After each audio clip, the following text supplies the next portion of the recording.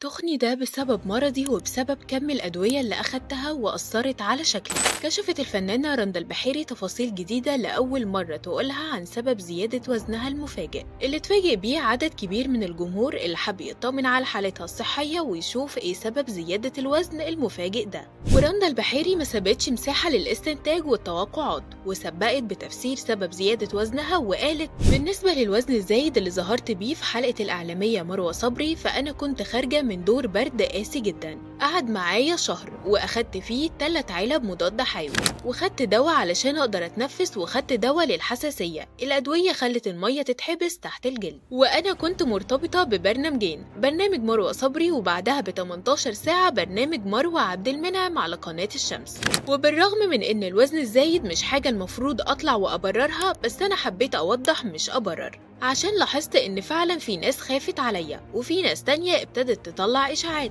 إن أنا في عندي حاجة أكبر من كده. بس الحمد لله أنا بطمنكم مفيش أي حاجة واصلا المية اللي تحت الجلد دي نزلت بعد التصوير ب 48 ساعة وأنا دلوقتي أحسن بكتير. وبقالها فترة الفنانة رندا البحيري قليلة الظهور في الأعمال الفنية وآخر أفلامها كان السنة اللي فاتت. لما شاركت بفيلم اسمه دولارات دولارات بطولة نضال الشافعي ومنى فضالي ولكن الفيلم محققش أي نجاح في شباك التذاكر. شاركنا برأيك في التعليقات وما تنساش الفولو علشان فيديوهات تانية كتير.